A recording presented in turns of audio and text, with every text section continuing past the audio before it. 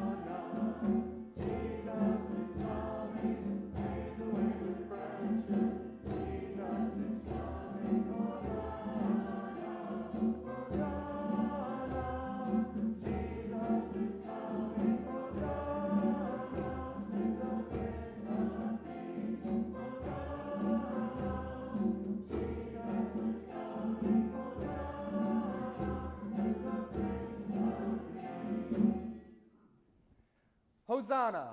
Blessed is the one who comes in the name of the Lord. Hosanna. Please be seated.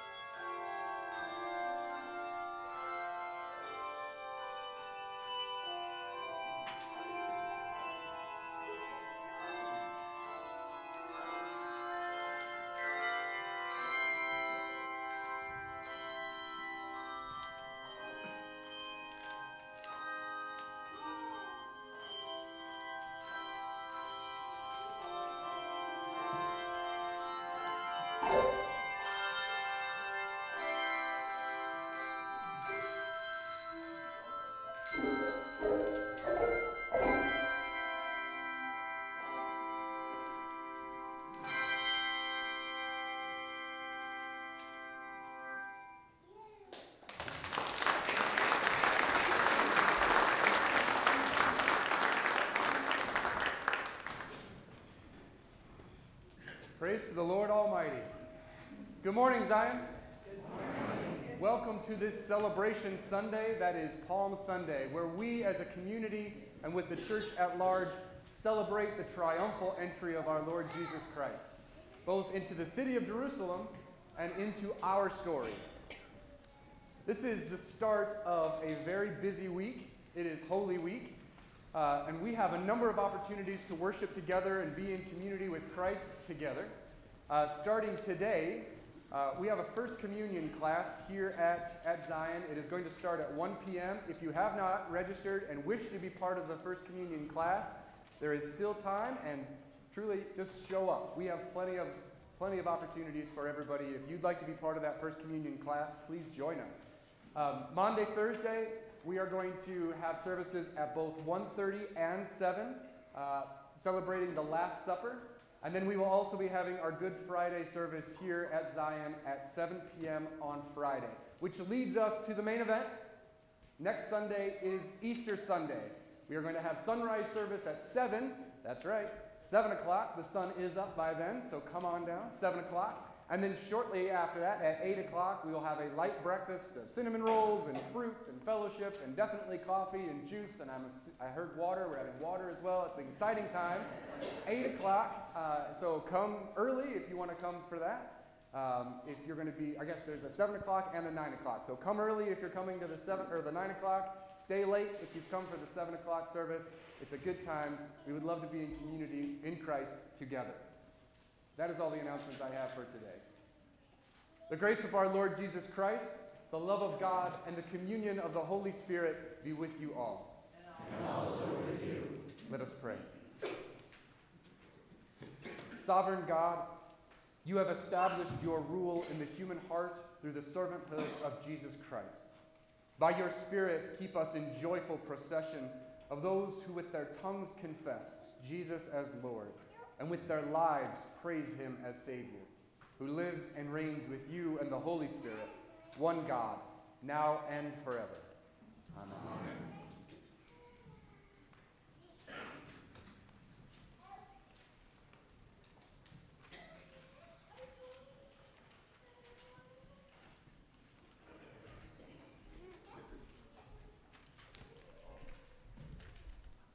Read respons- from Psalm 118. This is the day that the Lord has made. Let us rejoice and be glad in it.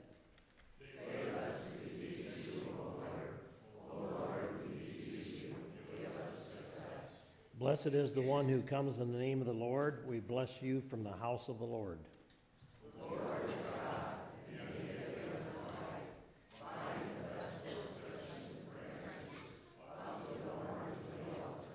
You are my God, and I will give thanks to you. You are my God, I will extol you.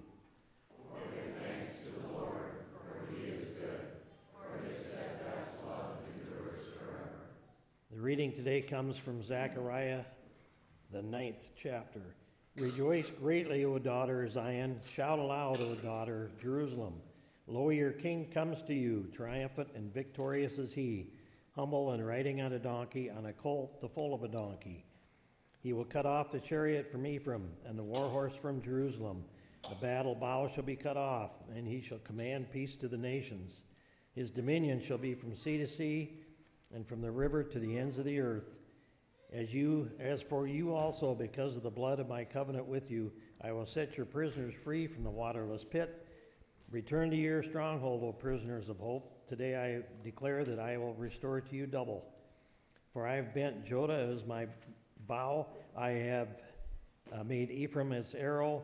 I will rouse your sons, O Zion, against your sons, O Greece, and weld you like a warrior sword. The word of the Lord.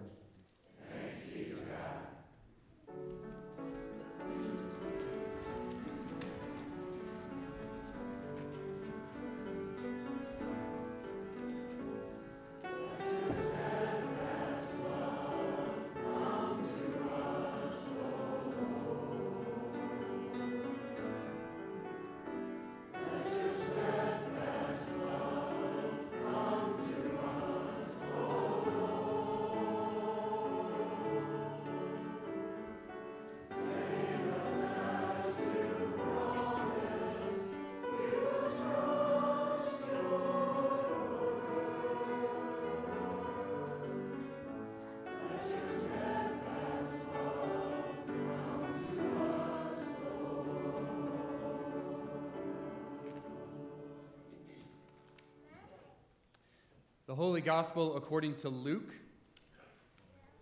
the 19th chapter. As he came near and saw the city, he wept over it, saying, If you, even you, had only recognized on this day the things that make for peace, but now they are hidden from your eyes. Indeed, the days will come upon you when your enemies will set up ramparts around you and surround you and hem you in on every side. They will crush you to the ground, and you, your children within you, and they will not leave within you one stone upon another, because you did not recognize the time of your visitation from God. The Gospel of the Lord. You.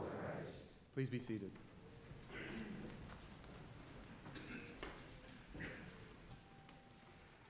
Let us pray. Heavenly Father, we ask that you send your Holy Spirit among us today. Help us lift up praise and joy at your triumphal entry into the city and into our hearts and into our lives. Please shield these individuals from what is my opinion and only reveal what is your heavenly glory. It is in Jesus' name that we pray. Amen. What a fun day. Uh, you know, I've, I've heard pastors up here saying there's only a couple of Sundays that are just really interesting and really fun to see and look out over the crowd. And one of them is Ash Wednesday, but one of them is Palm Sunday, and I never experienced that until today. Uh, and all of the waving branches, it is exciting. It was fun. Um, being able to be part of a process like that, what did, I, what did Leslie call it? She called it a cacophony of noise, I think it was called. Random shouts, random waving. Uh, it's fun to see, it's fun to be a part of. Uh, this morning, I want to take you back to a Palm Sunday many years ago to my youth, uh, where the children of my home church processed in kind of like this, with a cacophony of noise.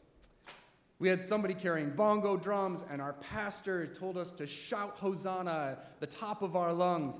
And we had palm branches, and of course, the tambourine.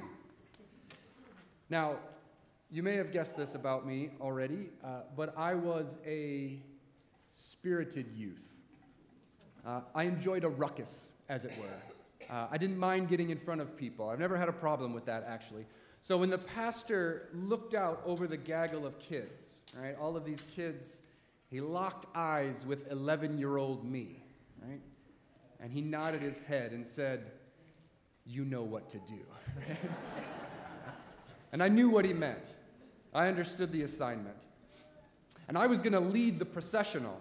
I was the first one through the gate. Like I was the head cacophony maker. And I was ready right up until I stepped foot inside the sanctuary. And I got in the way of myself. We had a bunch of kids behind me, the church was full, and we were just about to raise up praise to God, right? And I kept thinking about how exposed I was, how vulnerable I was to be out there in the front. And I had seen one of my classmates look at me when I got handed the tambourine, and I, I saw the condescending looks, and I thought, what if I'm the only joker up there making noise? Right? What if I went all in and I was the only one? And all I could think about was what the other people were thinking about. Like, why did I want the tambourine? Like, I don't even know how to play the tambourine. Does anybody know how to actually play the tambourine? Like, it's such an impractical instrument. Like, how do you even tune this thing? Can you tune it? What if I play it wrong? What if they think that I'm stupid? Or what if they make fun of me? What if? What if? What if? And so, this event that we are commemorating today, what Luke calls the triumphal entry for 11 year old me, kind of looked like this.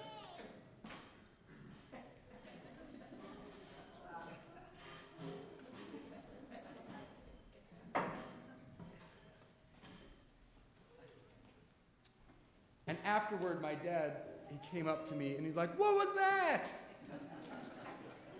That wasn't joyful or triumphant. And now I'm embarrassed all over again, right? And I do what everybody does when they get embarrassed about something. Uh, I minimized it and I tried to brush it aside. Well, I didn't want to do it anyway, you know. I mean, we're still in the season of Lent, right? Aren't we supposed to be sad and remember that we're going to die someday? Isn't that what Lent's all about? Well, I guess, but not today. Like today, we remember that Jesus is king, that he has entered into our city humbly, the servant leader, that Jesus is the hero in our story, the story of us. But let me ask you this question Have you ever heard of a story where the hero dies for the villain? That's right. Have you ever heard a story where the hero dies for the villain? Because I, I couldn't really find one. I couldn't find one except for Jesus. Now, I've read plenty of books and I've seen movies where the hero sacrifices something, maybe sacrifices themselves for the undeserving villain. But lay down their, lay down their life to an undeserving villain? No. By design, the season of Lent it was a bit heavy. And I promise you it won't be like that forever. It won't be the case forever. But it was necessary for Lent. Lent gives us permission to sit with the uncomfortable nature of our own sin. It allows us space to recognize where our lives are in relation to God so that we can repent and be saved to open our eyes to who the villain is in this story. In this Palm Sunday narrative, who's the villain? As much as I'd like to say that it was the Pharisees or maybe the Romans, it doesn't take much to realize that the true villain in this story was the crowd. It's us.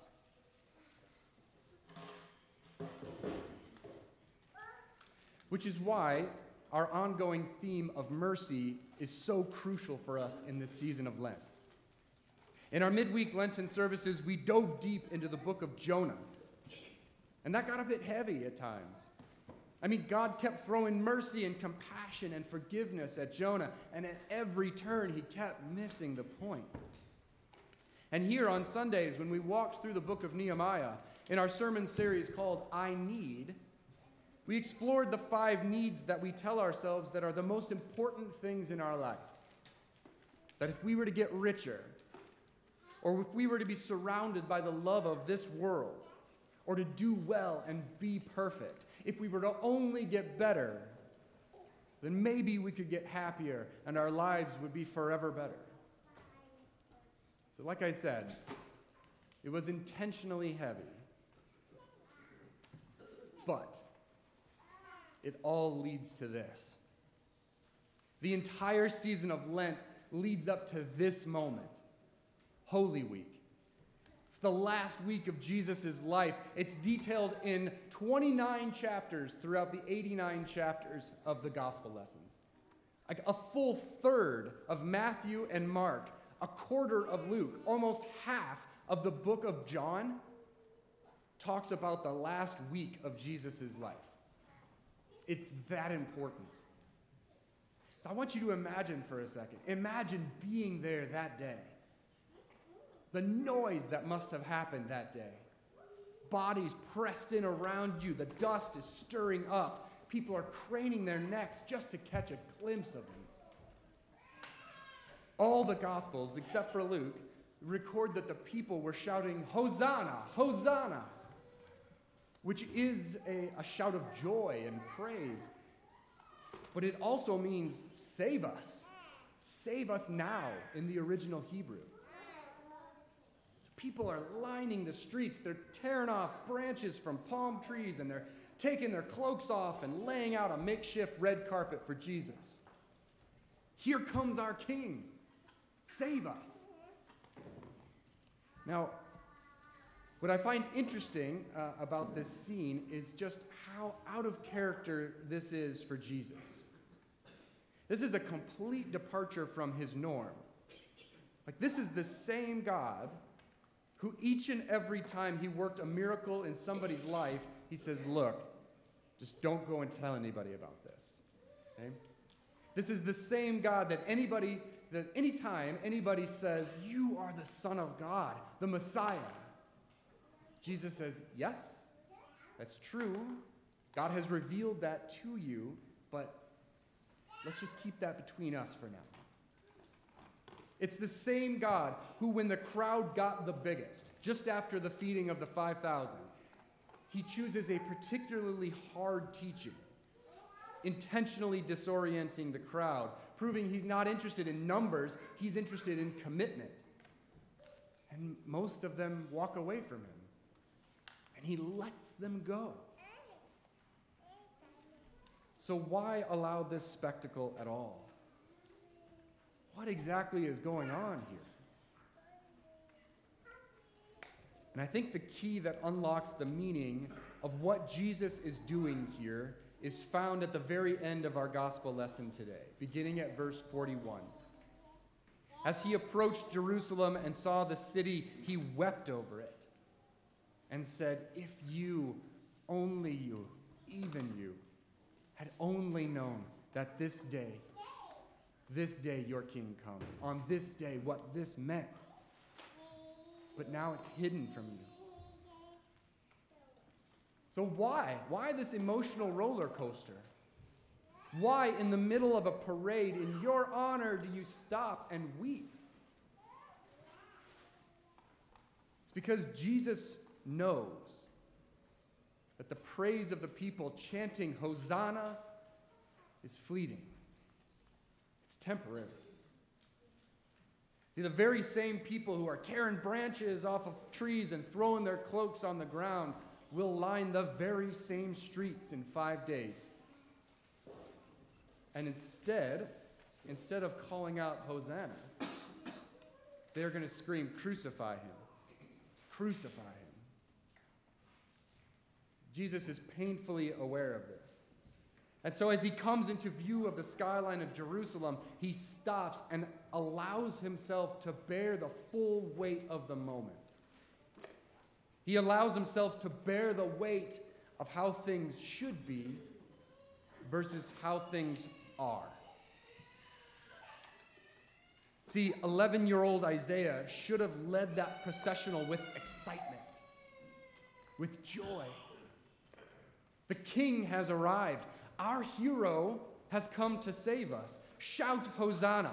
Blessed is he. But I let myself get in the way. If I had only placed myself on those streets that day.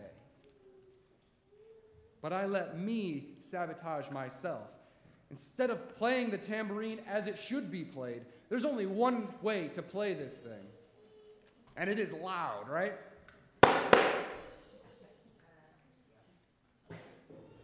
To be filled with Jesus, there is only one response that makes sense, and that is a triumphal shout of joy.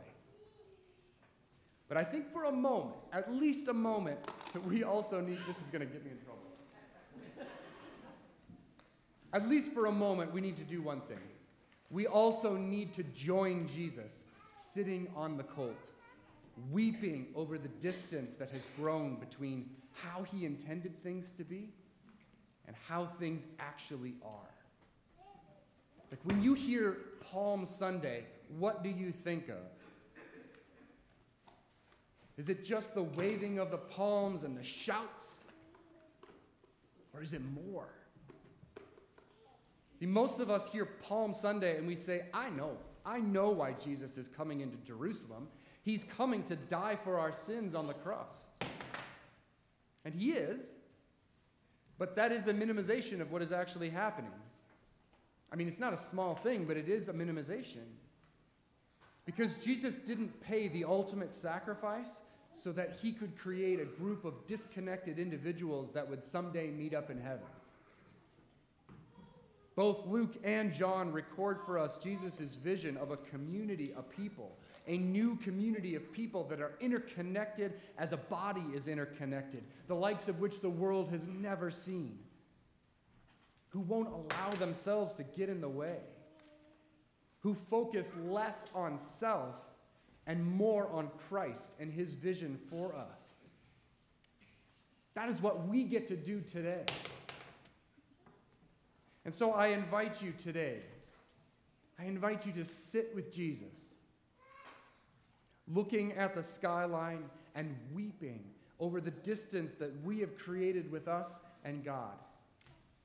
A distance created by those same five needs that we've told ourselves that we need in order to have a life that we've always wanted. They are the things that we have allowed to get in our way, to silence our joy for Christ. Each one of those needs focuses on self. It pushes open this canyon between us and God. We can feel it, it's uncomfortable. And so we keep trying to fill it, but we fill it with self. We fill it with the things of this world, with sin. It will drive us to line the very same streets in Jerusalem in one week. And it exposes our need for a Savior. We don't need the riches of the world or reputation. I don't need shallow community with people who are in it for the moment and discard it when it suits my plans or desires. Have you ever heard of a story where the villain dies for the hero? Let me rephrase that. Have you ever heard of a story where the hero dies for the villain? See, I'm the villain in this story. And Jesus came for me anyway. And so I will lift my palms in praise to the one who comes humbly on a colt. I will lay down my cloak for the one who sacrifices everything for a wretch like me. I have been baptized and set free. I will be unapologetically triumphant with my praise to God. I will be part of any cacophony of noise. I will play my, tra- tra- my tambourine for, for nobody but Jesus, lifting my song to my Savior, loud and strong. And I will cry Hosanna for all to hear, lest the very stones at my feet cry out for me. I don't need more of me. I need Jesus. Hosanna. Blessed is he who comes in the name of the Lord. Amen.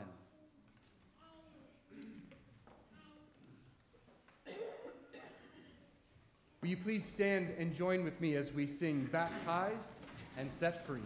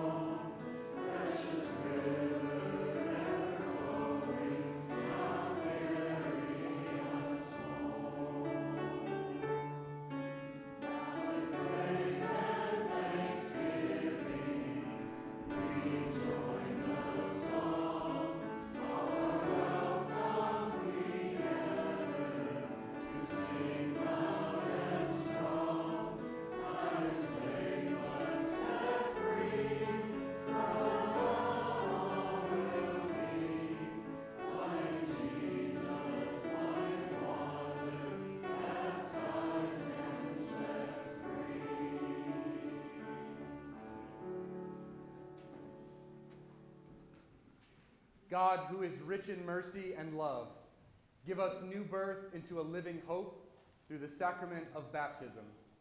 By water and the word, God delivers us from sin and death and raises us to new life in Christ. We are united with all the baptized into the one body of Christ, anointed with the gift of the Holy Spirit, and joined in God's mission for the life of the world.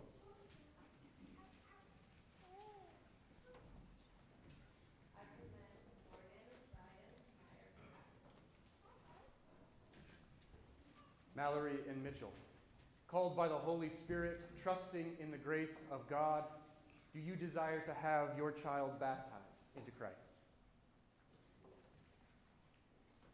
As you bring Morgan to receive the gift of baptism, you are entrusted with responsibilities to live with her among God's faithful people, to bring her to the Word of God, to the Holy Supper, teach her the Lord's Prayer, the Creed, and the Ten Commandments, place in her hands the Holy Scriptures, and nourish her in faith and prayer, so that she may learn to trust God, proclaim Christ through word and deed, care for others and the world God made, and work for justice and peace.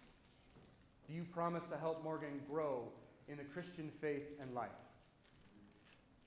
Sponsors Blake and Ellie. Do you promise to nurture Morgan in the Christian faith as you are empowered by God's Spirit and to help her live in the covenant of baptism and in the communion of the church? People of God, do you promise to support Morgan and pray for her in her new life in Christ? We do. I ask you to profess your faith in Jesus Christ, reject sin, and confess the faith of the church. Do you renounce the devil and all the forces that defy God, the powers of this world that rebel against God, and the ways of sin that draw you from God? Do you believe in God the Father? I believe in God the Father Almighty, creator of heaven and earth. Do you believe in Jesus Christ, the Son of God? I believe in Jesus Christ, God's only Son, our Lord, who was conceived by the Holy Spirit, born of the Virgin Mary, suffered under Pontius Pilate, was crucified, died, and was buried. He descended to death. On the third day he rose again. He ascended to heaven. He is seated at the right hand of the Father, and he will come to judge the living and the dead. Do you believe in God, the Holy Spirit? I believe in the Holy Spirit, the Holy Catholic Church, the communion of saints, the forgiveness of sins, the resurrection of the body, and life everlasting. Amen. The assembly may be seated. The Lord be with you. Let us give thanks to the Lord our God. Give you thanks, O God, for in the beginning your Spirit moved over the waters.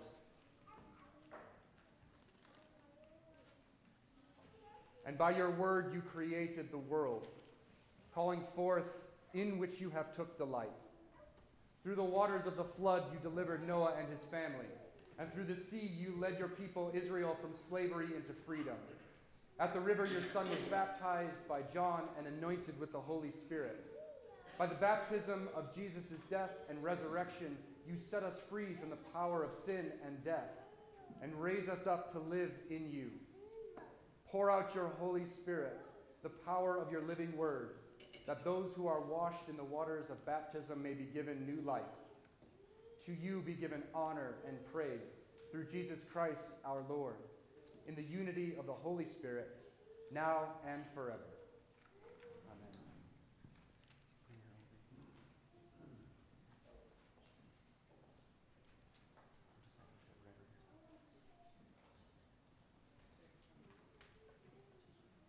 Morgan Ryan Meyer. I baptize you in the name of the Father and of the Son and of the Holy Spirit. Let us pray. We give thanks, O God, that through water and the Holy Spirit you gave your daughter new birth. Cleanse her from her sin and raise her into eternal life. Sustain Morgan with the gift of the Holy Spirit, the spirit of wisdom and understanding, the spirit of counsel and might, the spirit of knowledge and the fear of the Lord, the spirit of joy in your presence, both now and forever.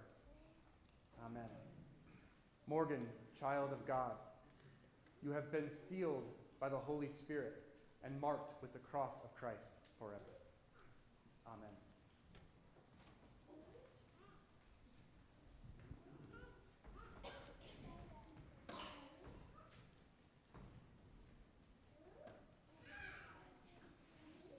Let your light so shine before others that they may see your good works and glorify your Father in heaven.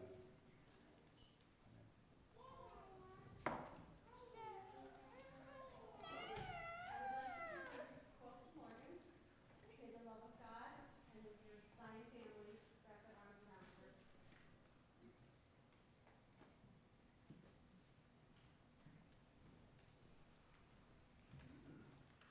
And now, my favorite part.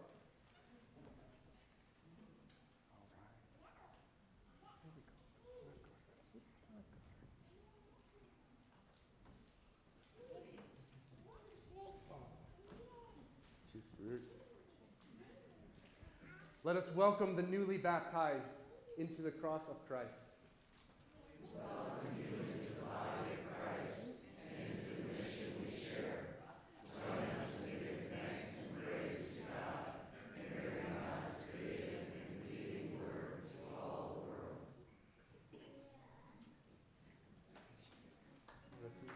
Yep, praise God.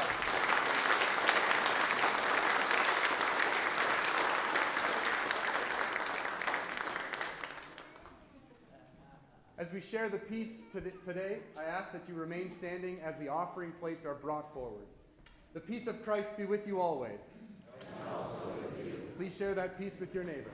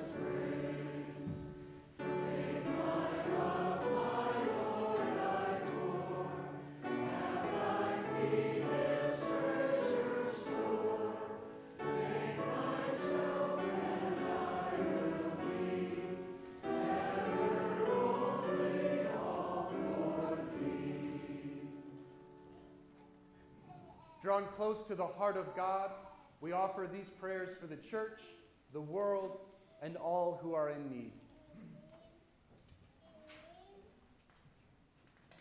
Heavenly Father, we pray for the church, called to follow Jesus in the way of the cross.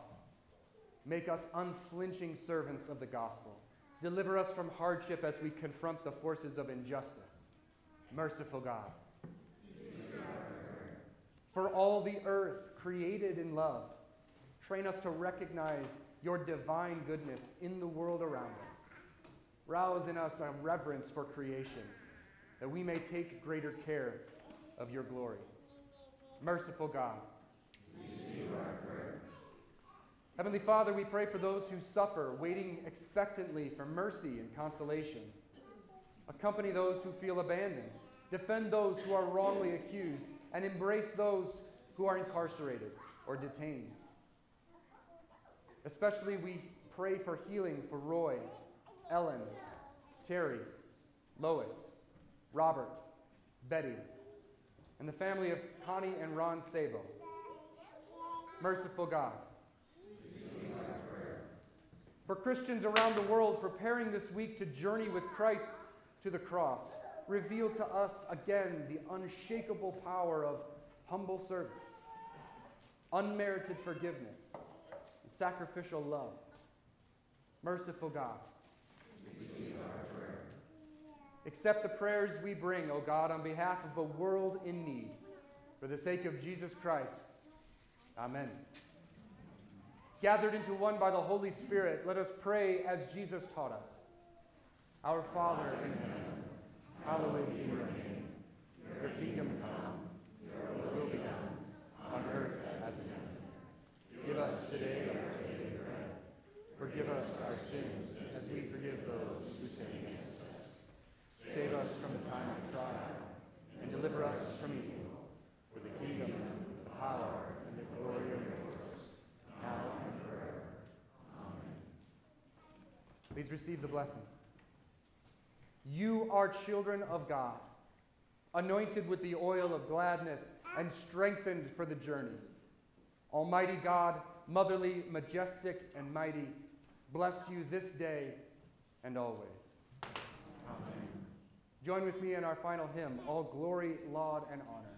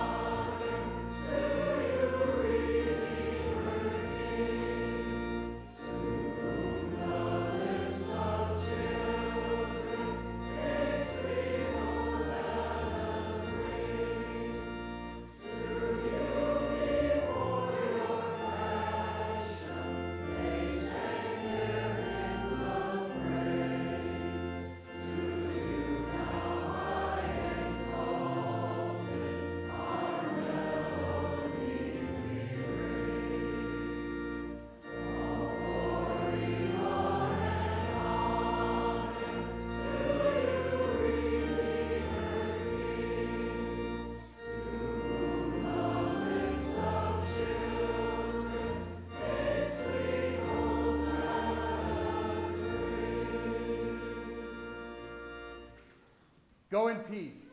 Jesus meets you on the way.